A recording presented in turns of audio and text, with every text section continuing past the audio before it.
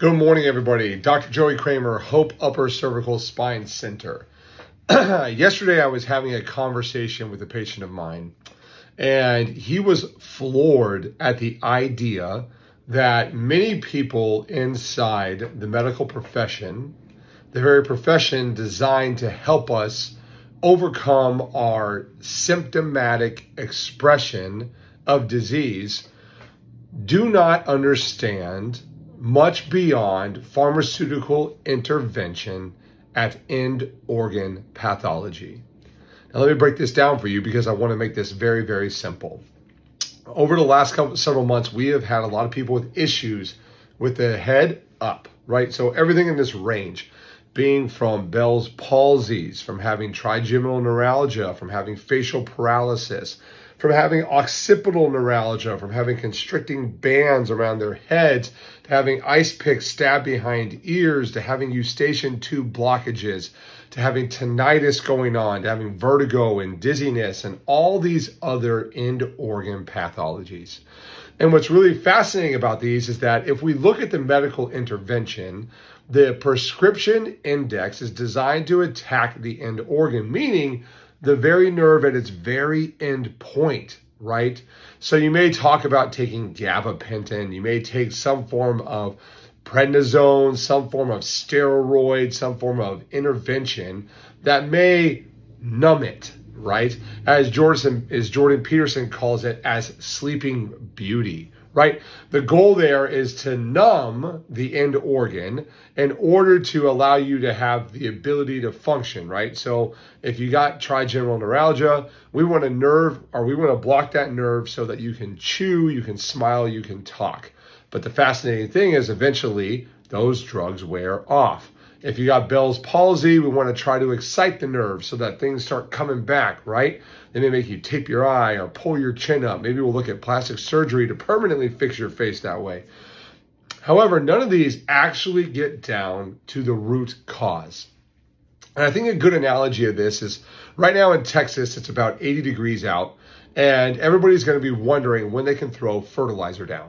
Because if we look at all of our winter grass, we are starting to see weeds pop up everywhere. And I know that most people will go and treat the weed, right? They'll buy some Roundup, they'll buy some uh, Spectracide, some form of spray, and they'll cover the grass to kill the expression of the weed. However, they will not get to the root, right? The root needed to be taken care of back in October when you put down your pre-emergent and your winterizer so that can get rid of what would be a weed come this beautiful February we're having right now.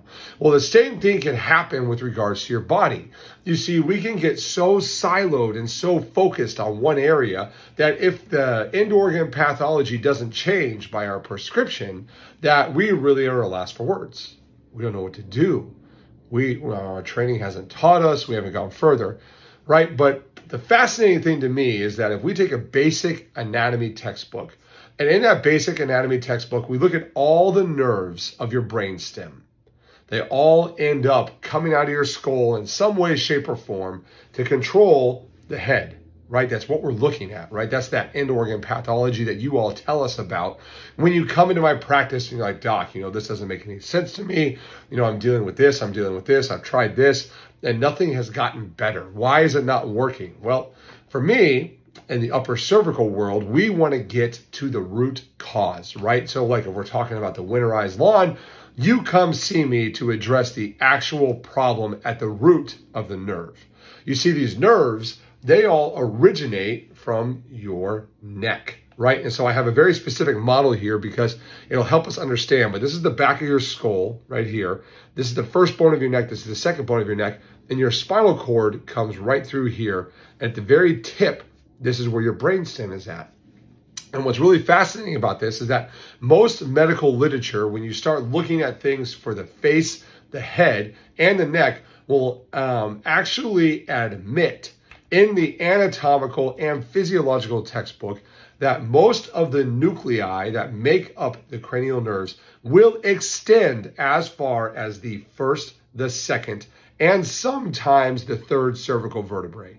However, the first and the second are really our crux. These are the most important things in the human body because this guy right here, the first bone of your neck, is the most important bone in the body. And as I know, I had a patient come and tell me, he goes, Doc, did you know as little as 0.5 millimeters translation of this bone can cause a disruption in the root of neurological function? I go, I am so glad you learned that. Because when we start getting people coming into practice and they have two millimeter, three millimeter, four millimeter translations, they have to understand that this is a very serious problem. And for a long period of time, and has been interrupting the root of the nerve. And that root is now expressing itself as a massive weed. And while the medication is trying to attack that weed, it is doing nothing to fix the root cause. So, inside of the upper cervical world, when you come in to see us, our job, our focus is to show you that the majority of your symptomatic presentation is, in fact, a cervical spine problem manifesting and end organ pathology. So while we have all the fancy names of Bell's palsy, of trigeminal neuralgia, of Meniere's disease, of vertigo, of headache, of migraine, of tension headache, every single one of those is a direct correlation to a problem with your brainstem. And that brainstem originates at the level of the base of your skull, extending as far as C1, C2, and C3. And so when we have a malposition of those two bones, and it is significant enough to interrupt normal neurological function, it is only a matter of time before you present with a neurological condition. That is why we get such amazing results inside of our practice because our job is to get to the root cause, to correct the underlying problem, and to alleviate the problem so that you can go about living your life without drugs without addictive medication, without surgery where they cut the back of your skull open, or they go in through your jaw, or they open your face up, right? We're not trying to do any of that.